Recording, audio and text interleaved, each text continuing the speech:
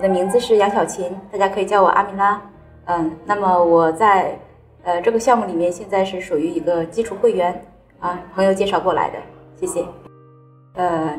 怎么说呢？现在我是从二零一三年开始玩虚拟货币比特币，那么最近几年就是说风起云涌吧，自己也做过交易所和其他的一些呃行业内的一些事情。那么虚拟地产是朋友的呃朋友介绍的。那么正好来迪拜，正好我们大家就一起来过来看一下。那么现场的热情确确实实是很多国家的朋友们都在。那么肯定是说这个项目已经发展的很好，并且很有未来的发展前景。所以我们决定好好的考察一下这个项目。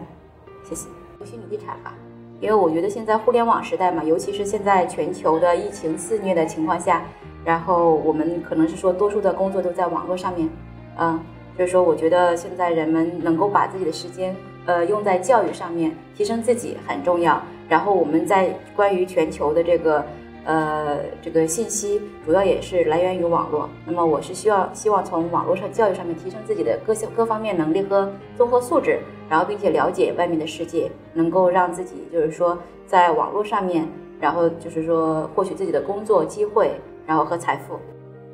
呃，我觉得环境能够改变一个人。如果说我们只是在呃，中国，比如说我在中国深圳嘛，那么如果说只在深呃深圳的话，然后每个人的呃时间都特别的紧迫，那么来到迪拜的话，我感觉很放松，就是虽然说也是就是大家要努力的工作，然后努力的去做社交，呃，努力的去发展自己的会员，但是呃给人的感觉和这个环境给人的感觉是不一样的，